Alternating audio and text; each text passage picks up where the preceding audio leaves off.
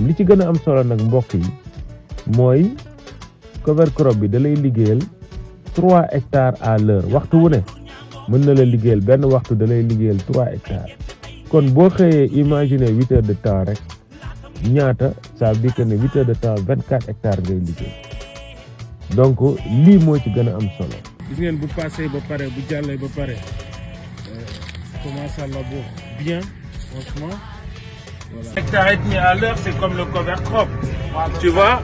Et là, euh, c'est le vibro, on l'appelle aussi le cultivateur, c'est ça? Ouais. D'accord. Donc les gars, la leçon d'aujourd'hui, c'est on va passer le vibro et euh, comment ça s'appelle? On va passer le vibro.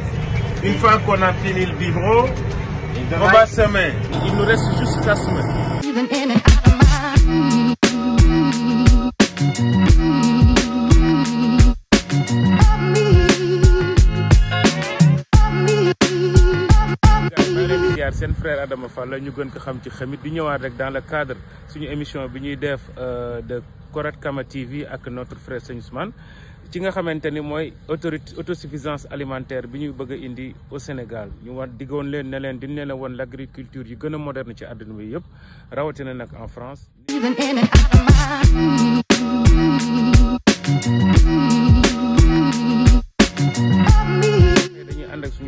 Maxime ñi nga xamante ni tamit dañuy liggéeyandoo ak moom. Moom tey ñu war ñu beneen système de semence tey mooy suñu deuxième émission. Donc émission bi nag dañ ciy ñëw aussi comme bi passé wanoon nañ leen système de semence bi amoon. Léegi dañ leen di wan beneen système de semence boo xam ne benn machine moom ngeen gis mu nekk suñu ginnaaw. Machine bi nii benn benn machine la mais ñetti liggéey lay def. Donc ñetti liggéey yooyu dinañ leen ko faram fàcceel expliquer leen ko léegi pour xamal leen ne leen li tax ñuy xeex lenn kese la pour que Sénégal mën a am autosuffisance alimentaire bu baax duñu soxla tubaab soxlawuñu naar soxlawuñu chinois soxlawuñu japonais ñun sénégalais doomu réew bi mën nañoo développer. Maxime en fait euh, il y a cette machine là le semoir il y a il y a le rouleau tey est-ce que tu peux expliquer aux Sénégalais à quoi ça sert le à quoi ça sert la machine? Parce que une fois qu'on aurait parti au boulot il y aurait pas le temps d'expliquer. Ouais. Du coup, bon là le colza étant donné que c'est une toute petite graine, ouais. les rouleaux là, ça va servir à venir rappuyer la terre, venir tasser, casser les dernières petites mottes, ouais. avec comme objectif de de venir euh, que, que la petite graine soit le maximum en contact avec la terre, pour essayer de favoriser une levée plus rapide et plus homogène. En fait, on a besoin que les, les- la petite graine soit fortement en contact avec la terre. Donc on verra aussi en image un peu, un peu plus tard. ouais. Euh, on va voir ce que ça fait les rouleaux. Ça vient relisser le sol, ça vient bien rappuyer là. On verra après, voilà. Mais l'objectif c'est d'être en contact le plus possible. avec la terre. kon sama gars yi bu ma traduire li Maxime expliqué c'est-à-dire que semoir bi day jaar ci ci semoir bi day passé bii mooy topp ci ginnaaw semoir bi juste pour lan pour nga xamante ni xoolal dafay pour mu am contact li nga pour grain yi am contact ak ak suuf si. Su nga xamante ni jug bi day a gaaw bi day yomb. Ay mbir la dañ expliquer en détail et tout à l'heure dañ ko filmer comme ça vous allez voir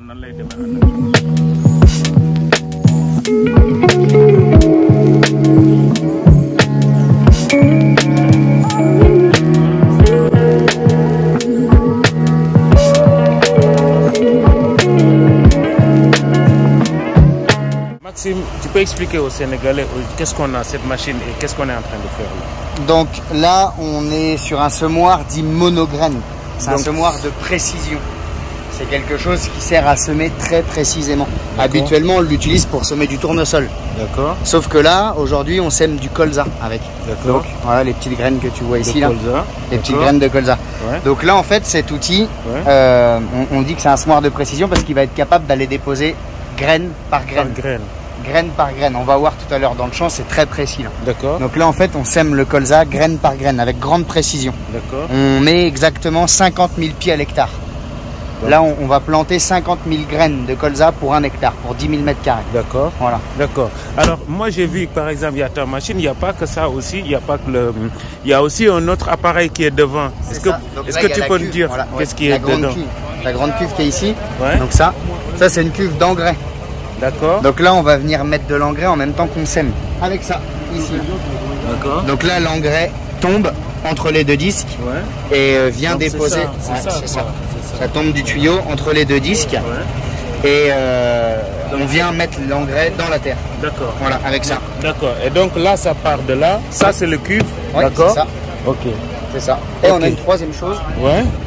Ici, on a une boîte pour les insecticides. Aujourd'hui, on s'en sert pas parce que euh, la semence est déjà enveloppée. Ouais. Donc aujourd'hui, on s'en sert pas. Donc là, on a une cuve pour mettre aussi de l'insecticide dans la ligne de semis. Ouais. Et aujourd'hui, on se sert d'une chose, on se sert de cette cuve là. Ouais. Voilà, là on aperçoit donc là c'est des petits des petits granulés bleus là. Ouais. Les petits granulés bleus qu'on voit, ce sont des granulés anti-limaces. Ce sont du- Contre des limaces. Voilà, c'est ça, contre les limaces. Voilà. Donc ça en fait, ça tombe et on vient le mettre ici, juste derrière la semence. On verra aussi au champ, je vais te faire voir dans la terre. Ouais. Alors, donc on va retrouver la graine de colza, Ouais. les granulés d'engrais qui vont être sur le bord de la ligne de semis Ouais. et on va aussi re- retrouver les granulés anti-limaces. Juste à d'accord côté. c'est-à-dire que ne machine gis nii ah maanaam ñetti liggéey lay def c'est-à-dire que ne day semer day ji en même temps indi engrais en même temps indiwaale traitement yi nga xamante ni moo adéquat mooy contre les limaces c'est-à-dire que ne tey ñun euh, juste une question euh, Maxime cette machine elle fonctionne à combien d'hectares à l'heure Euh, je dirais qu'on n'a pas des gros gros débits parce qu'on est sur des petites largeurs. ouais Euh, ce sont des machines qui sont très coûteuses, donc du coup on est sur des petites largeurs. Mais je dirais qu'on est capable d'aller faire euh, 3, Trois hectares à hectares à l'heure. facilement. voilà ouais, 3 ouais. hectares à l'heure ce qui est abordable Ouais, ouais, ouais. donc là sénégalais gis ngeen sama gars yi 3 hectares machine bi da la koy liggéeyal à l'heure donc pour un peu de temps di nga def ñetti liggéey donc tamit loolu lañ leen di inciter pour ñun demee pour ñu am autosuffisance alimentaire forcément on est obligé de passer par le savoir-faire ça et surtout le savoir-faire de Mac. waaw sama gars yi je vous présente Benoît Benoît est-ce que tu peux expliquer aux Sénégalais? Donc utiliser la quantité de 646 euh, être sûr de- d'avoir assez de- d'engrais pour euh, finir. euh, la D'accord. parcelle. donc sama gars yi gis ngeen Benoît dafa ñëw régler affaire yi. assez d'engrais pour finir. Mooy comme sànq li ma la doon expliquer expliquer naa leen ne en même temps buy semer day dugal engrais bi. Xam nga engrais bi en même temps semer en même temps dugal kii bi. Voilà. Donc mi ngi noonu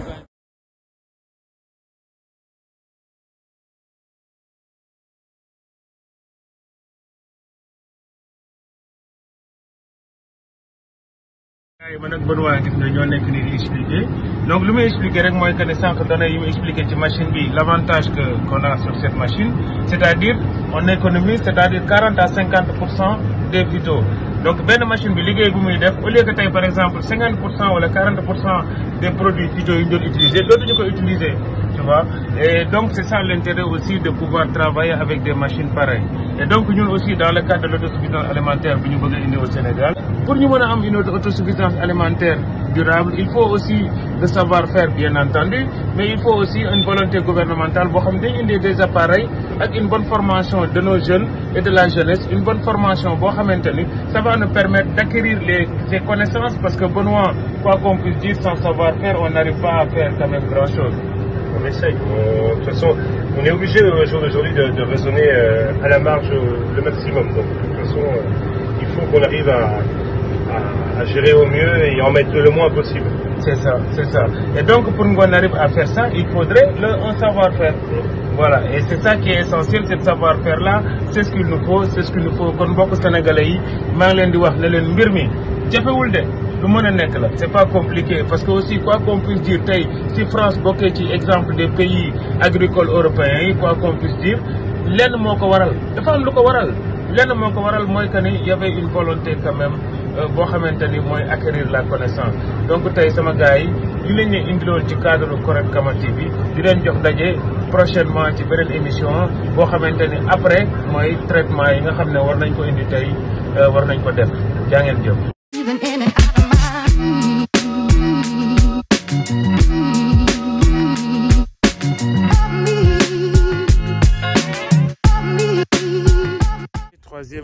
étape c'était c'est avec cette machine là Ouais, c'est ça. Donc après semis, après Ouais. rouleau. ouais Euh, troisième et dernière étape euh, pour clôturer les semis, euh, la pulvérisation.